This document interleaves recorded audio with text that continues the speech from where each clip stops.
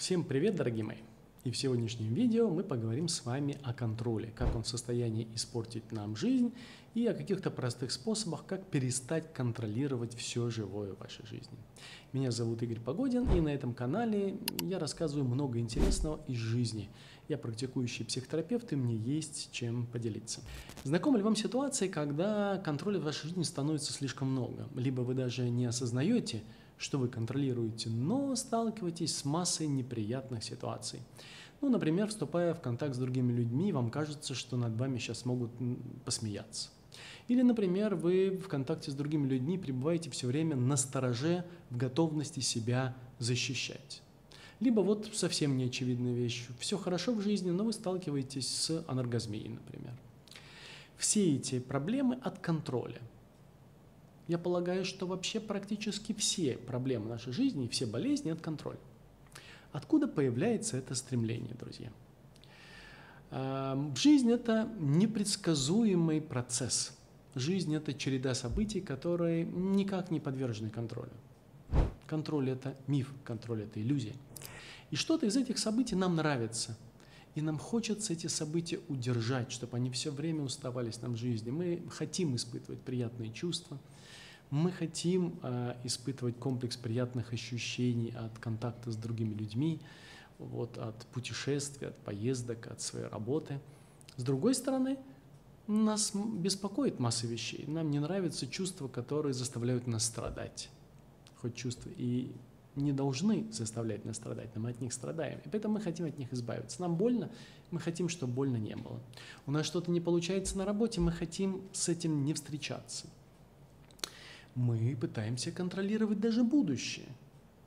А, завтра, послезавтра, через две недели у нас какая-то ответственная встреча, митинг, презентация, и у нас возникает сильный страх, что мы не справимся с этим, сильный страх, что мы облажаемся, сильный страх опозоримся, и нас просто перестанут любить. И, конечно же, мы не хотим с этим встречаться. И поэтому мы создаем некую иллюзию внутри своего сознания, о том, что мы контролируем происходящее в нашей жизни. Контроль – это лишь концепция, это мираж, это иллюзия. На самом деле мы ничего не контролируем. Тот, кто контролирует, он подтягивается уже позже, когда событие случилось. И знаете, такой весь деловитый говорит, это я, это я. Помните, как в нетленке Агаты Кристи э, в, э, в песне «Молитва» «Это я нашел, это я нашел, это мой новый способ молиться». Вот так, э, соответственно, и здесь, когда событие приятное, прибегает тот, кто в это событие себя приписывает, говорит, это я, потому что случилась э, череда предварительных событий, я хорошо подготовился, я вообще умничка, молодец, я хорошо выспался, например. Вообще я просто очень талантливый человек, я много над собой работал, или, например, я просчитал все возможные сложности, ошибки и так далее, и поэтому у меня случилось хорошо. Либо, например, а, вы говорите, упрекая себя, ну вот я не досмотрел, ну вот я мог бы предположить, что так может случиться, но не сделал этого, или куда смотрели мои глаза. И вы начинаете корить себя, посылать голову пеплом, и в том и в другом случае – Казалось бы, в первом случае вам приятно, но ненадолго, а во втором случае вам очень неприятно, и вам хочется как можно быстрее с этим распрощаться. И поэтому контроль становится вечным. Но у контроля есть и побочные эффекты, потому что вы не в состоянии встретиться с чем-то довольно важным в вашей жизни, что не предполагает контроля. Вы не можете по-настоящему радоваться, искренне радоваться, без э, всякой идеи, Просто как ребенок радоваться от того, что простые вещи случаются в жизни.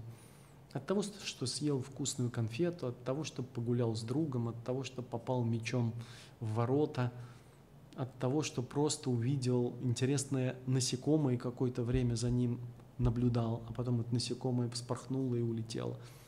Вы ведь уже не можете так радоваться, правда? Вам просто не нравятся э, какие-то проблемы в вашей жизни, что вы не можете построить близкие отношения, не можете испытывать удовольствие от секса или страдаете астмой, положим. Но вы же не думаете, что это связано с контролем, правда? Вы просто от этого немножко мучаетесь и, соответственно, страдаете. Второй побочный эффект – это постоянно сопровождающий страх.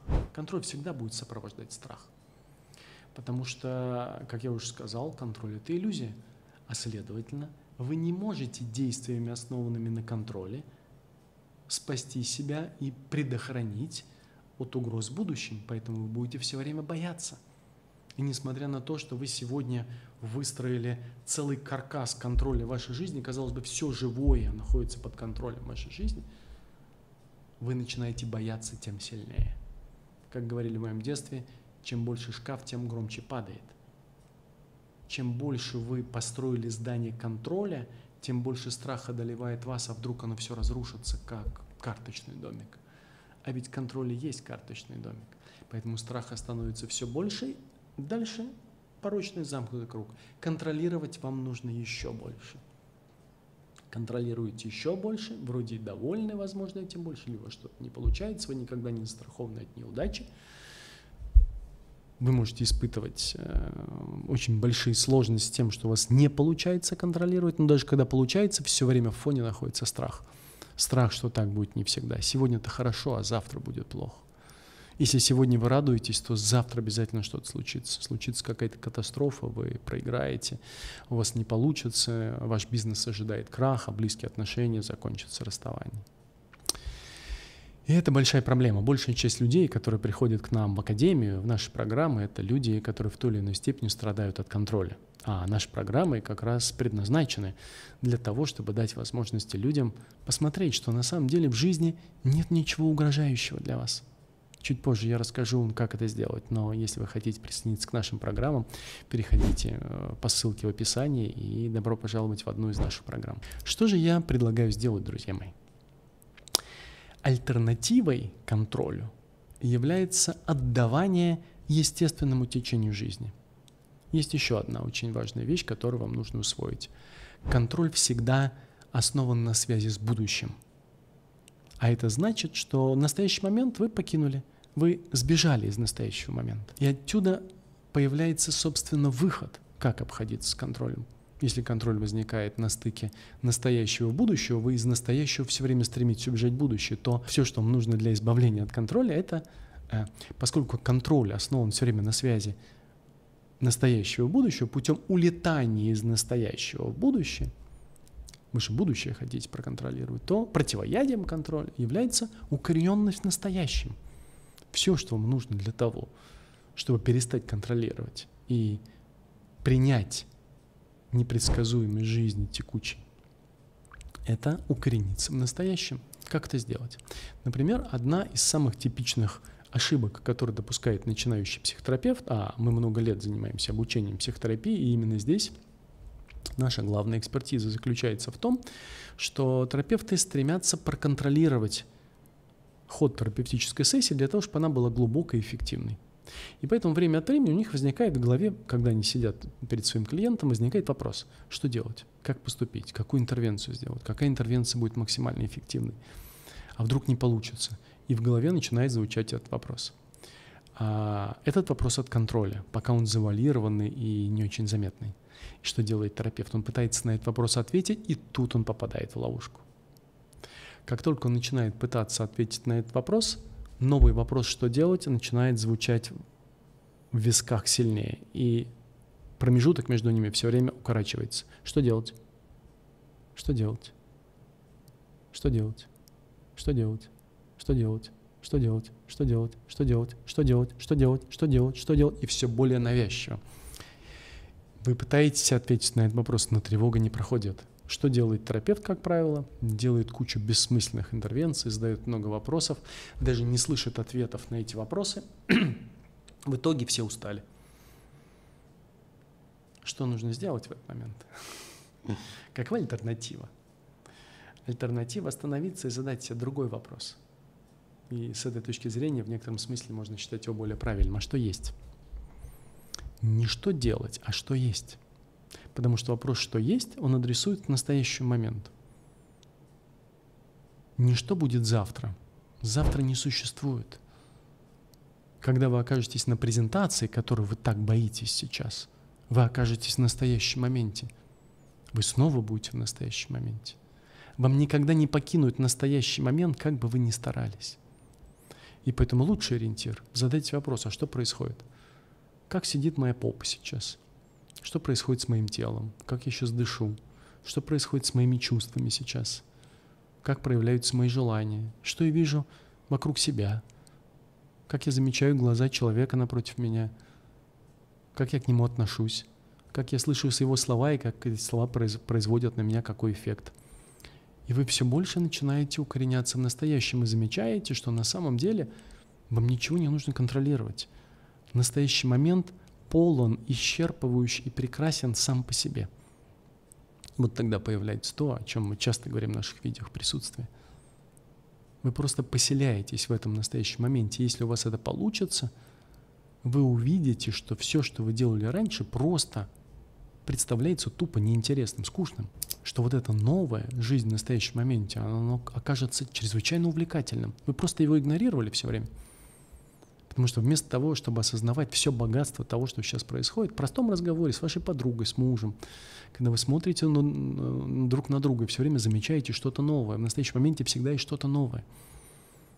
Новое появляется только в настоящем моменте, оно не появляется в понедельник, оно не появляется завтра, оно проявляется только в настоящем моменте.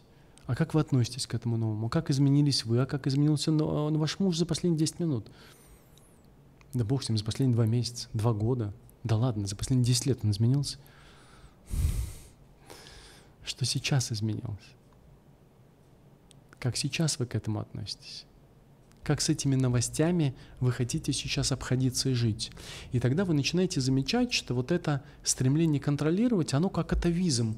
Оно растворяется, оно пропадает, оно становится ненужным, неинтересным. Нам концепции нужны лишь до тех пор, пока мы так спасаемся от своей тревоги. Как только мы укореняемся в настоящем, первое, что исчезает, тревога. И нам больше не нужно контролировать. Помните классическое описание тревоги, данное Фрицем Перлсом, основателем гештальтерапии. Тревога – это остановка возбуждения плюс угнетение дыхания. И еще, тревога – это всегда попытка отказаться от того, чтобы быть здесь и сейчас и улететь в там и тогда. Тревога возникает только в тот момент, когда вы находитесь не в сейчас – Фриц Перл даже на своих лекциях предлагал аудитории такие эксперименты. Попробуйте сейчас посмотреть, что происходит с вашим телом. Думали ли о будущем? Нет. А у кого сейчас есть тревога? Поднимите руку. Где вы сейчас находитесь? В настоящем или будущем? Будущем. Вы всегда будете находиться не здесь сейчас. Если вы испытываете тревогу, страх, скорее всего, в будущем. Если вину, скорее всего, в прошлом. Понимаете, да? Противоядие всего этому – это быть в сейчас. И тогда вы увидите, что контроль всегда был миражом, что контроль всегда был чем-то, чего не существует. На этом канале очень много видео, посвященных в том числе и контролю, в том числе и чувствам, которые не поддаются контролю и присутствию. Поэтому переходите, погуляйте по этому каналу и посмотрите другие видео, которые, э, очевидно, могут оказаться вам интересными. А потом просто попробуйте посмотреть, что происходит в настоящем моменте. Почему я так много повторяю? Видите, как сугестия такая несколько раз. Потому что со временем вы начнете сами видеть, что никакой иной реальности нет. И что то, что вы раньше думали называется контролем, было суетой, обслуживающей страх. Потому что на самом деле вы никогда ничего не контролировали. И чем больше будете поселяться в настоящем моменте, тем меньше будет контроль. Я недаром повторил этот тезис 4 или 5 раз. Я надеюсь, вам удастся прикоснуться к этому волшебству настоящего момента. Ну что ж, если вам понравилось это видео, подписывайтесь. Можете не ставить лайк, если не хотите. Просто подпишитесь, и у вас будет возможность следить за новым видео, которые с регулярностью выходят на этом канале. С вами был Игорь Погодин, и увидимся с вами в новых видео. Пока.